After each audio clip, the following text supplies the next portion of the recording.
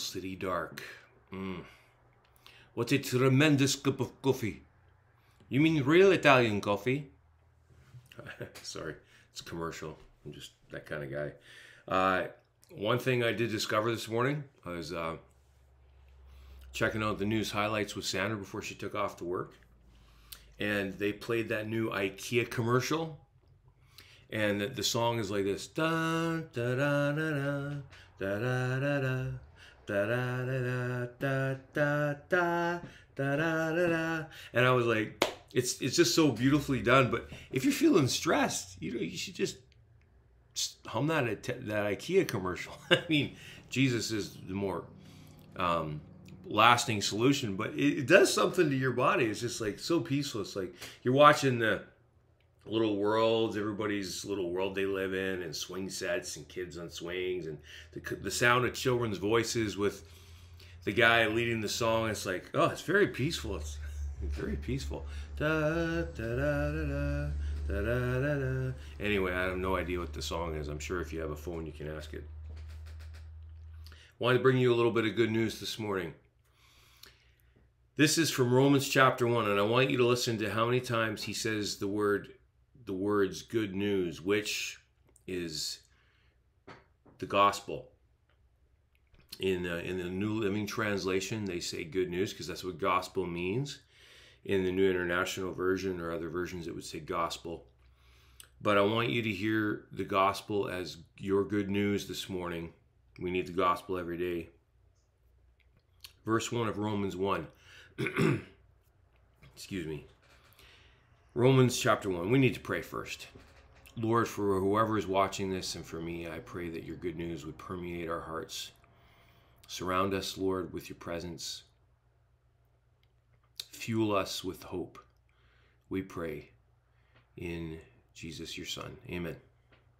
Romans chapter 1. This letter is from Paul, a slave of Christ Jesus, chosen by God to be an apostle and sent out to preach his good news. God promised this good news long ago through his prophets in the Holy Scriptures. The good news is about his son. In his earthly life, Jesus was born into King David's family line, and he was shown to be the Son of God when he was raised from the dead by the power of the Holy Spirit. He is Jesus Christ our Lord. Verse 12 says, I want to encourage you in your faith, but I also want to be encouraged by yours. Verse 16 and 17 say this For I am not ashamed of this good news about Christ. It is the power of God at work, saving everyone who believes, the Jew first and also the Gentile. This good news tells us how God makes us right in his sight. This is accomplished from start to finish by faith. Let's break it down. Verse 1, Paul says, This letter is from me, Paul. I am a slave. Now, normally, a slave would not be a happy person. Paul is so happy to be a slave of Jesus, a servant of Jesus. Notice, he doesn't even call himself the Apostle Paul. Paul and Peter, Peter and Paul were the two, you could easily say, the two chief apostles, revered around the Christian world. Paul wrote half the New Testament. But he says, I'm just a slave of Christ Jesus because I'm willing to do anything for him because he did everything for me.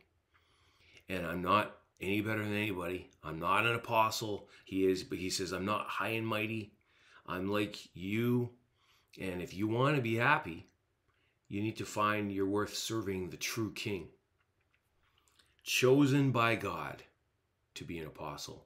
Paul was like a Pharisee. He was like a zealous Pharisee. But he says, I've been chosen as an apostle, and I've been sent out to do one thing bring good news to the world. And the good news of the gospel, the good news of Jesus Christ, was promised a long time ago, and God came through. And it was actually promised way back in Genesis chapter 3 when the first people sinned. And right away in Genesis 3:15, God says, "Yes, you've sinned. Yes, you've cut yourself off from this Garden of Eden, and the world's never going to be the same. But I will come and rescue you. I will send someone to save you. That was way back in Genesis 3:15, where God promised he would make a way. The good news is about his son. So, make sure that if you're a person that says you're a Christian, a Christ follower, that what your life is about is the good news of Jesus. And make sure that when you are proclaiming your faith, that it is about Jesus and nothing else. It is He and He alone that can bring hope for you and the world. You need to keep that in mind. You can't get distracted. Don't let yourself be distracted by anything else. Make your life about the good news of Jesus. And Paul said, I passed on to you what is of first importance that Jesus Christ died for the sins of the world. He rose again and he ascended to the right hand of the Father and he's coming again. That is the gospel. Don't get distracted by anything else, no peripherals. Jesus died for our sin. He was risen from the dead to beat death. He has ascended to his throne and he's coming again. He's going to fix this place. You got to keep the gospel. that is the good news. That's got to be your focus. In his earthly life, he was born in King David's family line, so he knows what it's like to be one of us. He walked this road. He walked, God walked a mile in our moccasins, right? And he was shown to be the Son of God. So he he was born into the human line of David, but he was shown not just to be human, but to be the God man when he was raised from the dead by the power of the Holy Spirit. He is Jesus Christ, our Lord, our Adonai, our Kyrios, as the Greek says. He is our Lord and hero. And, and here's the great news, guys. He was raised from the dead. And, um, you know, right now, the world needs to be rebuilt by people like you and me who have the Holy Spirit. He sent His Holy Spirit into us. The same Spirit that raised Jesus from the dead is in you and me. So may He use you to speak this good news over the world, to pray for people that don't yet have it, to get a chance to tell them the good news that Jesus loves them. Yesterday, I was sitting outside. Um, it was a beautiful afternoon so I grabbed a coffee to sit at the picnic table to sit in the sun for 15 minutes because I knew it'd be the last time I see the sun for about 10 years now because we're in Sicamous. But um, I was sitting on the picnic table and this lady walked by. She says, I've been listening to your services on the, the, the front lawn of the hub. We were there for 20 Sundays. And she says, I miss it. She lived a couple doors down. And I said, Well, we're at the senior center now. She says, Yeah, I was sitting in my yard and listening to church. And she says, It's so good for my heart. She found out she's dying of a brain tumor.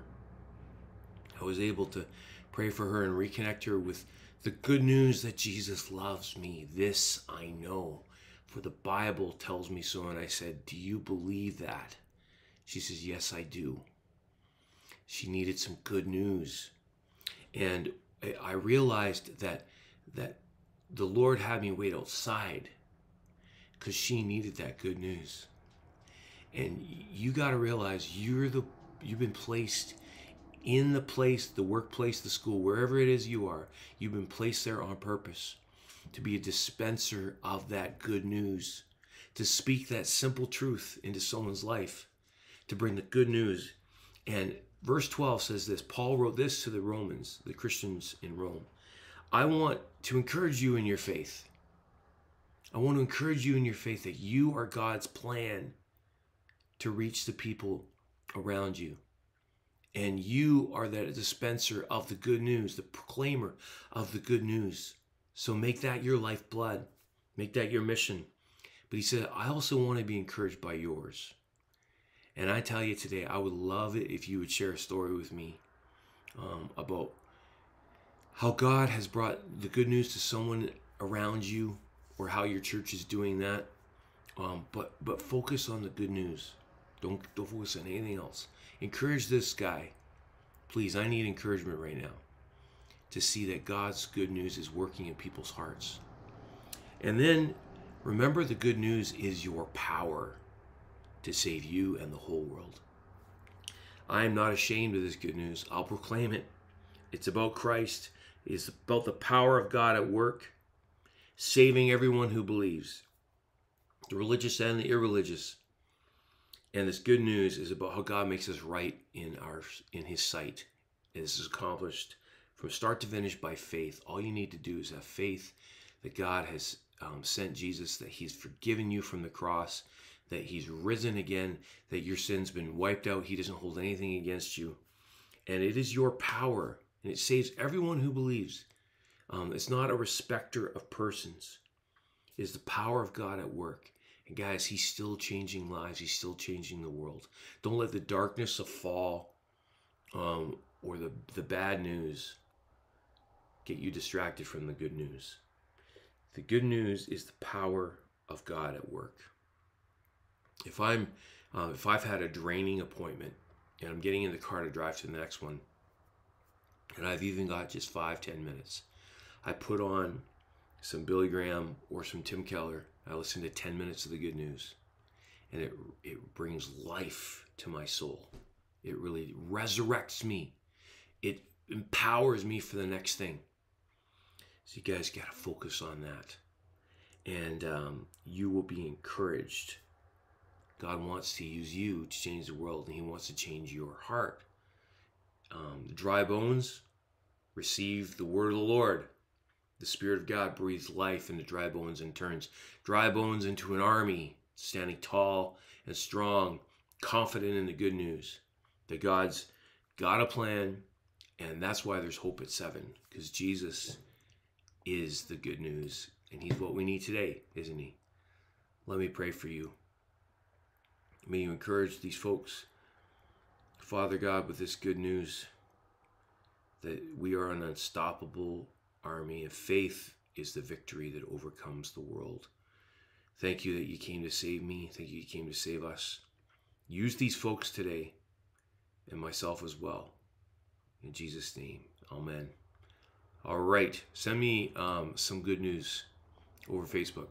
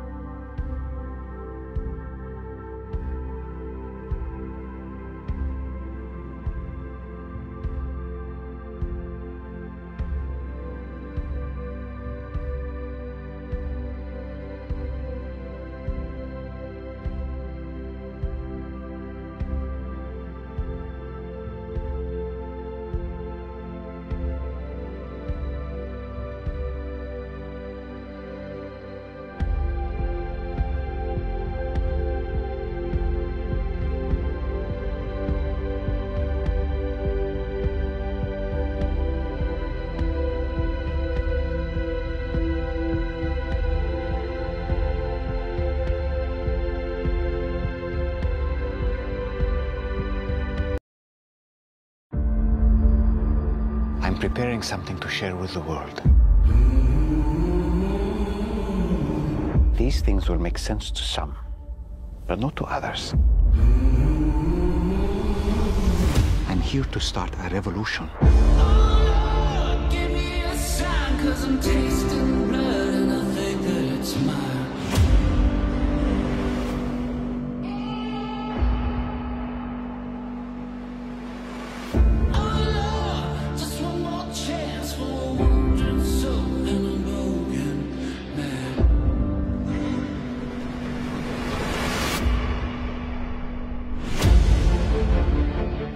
care is for women, for the vulnerable. Blasphemy is not harmless. Well, the Pharisees were pretty upset. Sometimes you gotta stir up the water. They're martyrs with a persecution complex. To the water. I want to kill him. Just take me down to the water. Do you want to be healed?